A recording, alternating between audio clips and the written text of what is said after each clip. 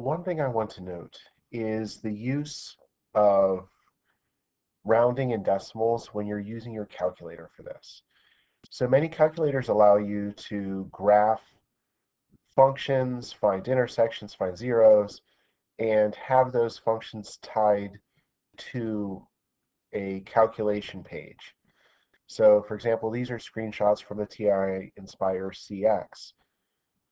And one thing you want to watch for is remember that when we do our rounding, yes, we round to three decimal places when we're writing and at the very end, but we do not round the values for our intermediate steps.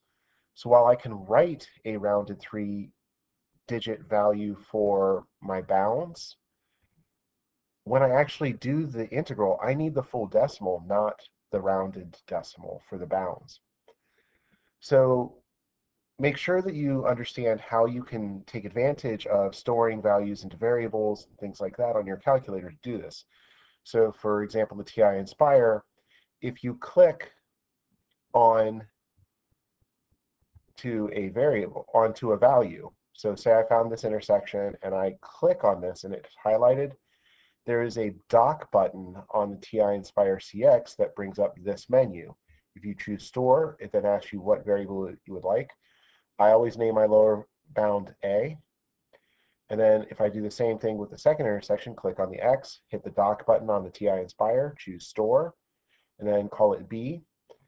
If I then go to the affiliated calculator page, I can just say the bound from A to B, and then my top function was the blue F1 of X, the bottom is the F2 of X, of F1 of X minus F2 of X, and it does everything for me, and I can round this value now for my answers again, when I'm writing my integral, I can write the integral from negative 1.265 to positive 1.265 of the top 2 cosine of x minus the bottom, x squared minus 1. Make sure you're subtracting all of the bottom. Writing this is okay, but I have to make sure for the calculation I'm using those full decimals to be able to get the value of 4.995. So make sure that you're able to do that with your calculator. If you have class with me, I'm happy. We, this is one of those things we will practice doing within the classroom when we're face to face. So then, a uh, few slightly more complicated examples here. So we're asked to find the area between y equals x cubed minus 2x squared plus 1 and y equals x. Looking at this function, I actually have two different parts to this. And what makes this different is what's top and what's bottom changes depending on which piece I look at. And they don't tell me which piece they are intending, so I have to assume they mean they want both pieces. So I want the entire area between those curves. So please note, I do need to find my bounds because they don't tell me the bounds. This would be a calculator type problem.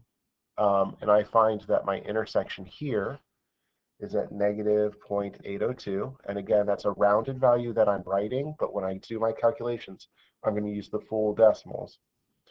This intersection is at 0.555 and this intersection is at 2.247. And what I do is I just, anytime the top or bottom changes, I just do a new integral. So I see this as I have two regions. One region where the black is on top and the red is on bottom, and another region where red is on top and black is on bottom. And so I'm going to split this up and say, well, for the first region, I have the integral from negative 0.802 to positive 0.555. The black on top is my cubic.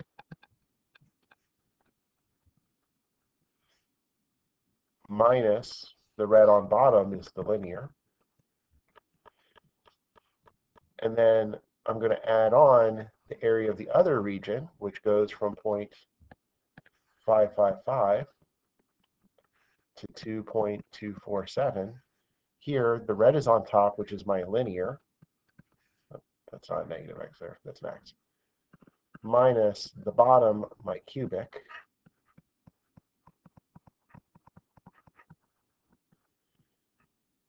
And so I actually have two integrals, one for the first region, one for the second region, based on what's on top, what's on bottom. Type that into my calculator, and I got 2.766. Then what's typically the most challenging is here we're dealing with with respect to y. And oops.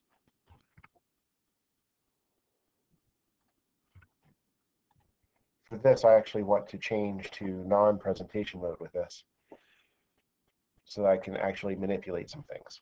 I want to find the area between y squared equals x plus 1 and y squared equals 3 minus x. And that's this region right here. But these aren't functions. So if I, and that's a big issue here, these aren't functions.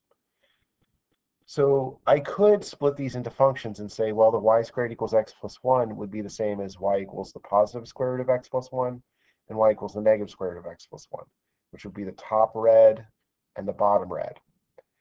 And then y equals the positive square root of 3 minus x, which would be top black. I'm sorry, top, I have the colors switched. Um, this would be the positive square root of x plus 1. This would be the negative square root of x plus 1.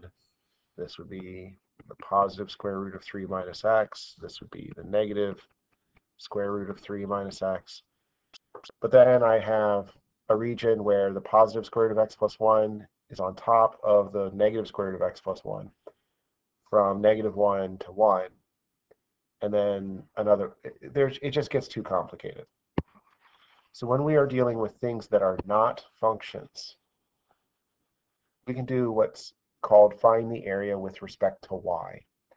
And the idea of this is, is we turn the graph and say, well, these two relations are not functions with respect to x, but what if I say instead of x is the independent variable and y is the dependent, let's switch them.